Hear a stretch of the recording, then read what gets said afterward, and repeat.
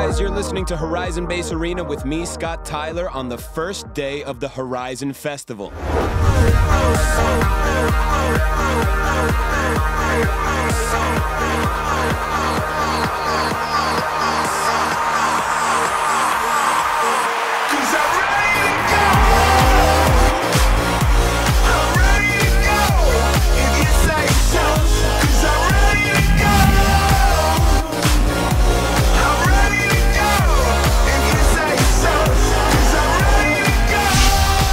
It's already a beautiful Colorado morning here with a forecast for high energy, scattered rhythms, and plenty of thundering engines.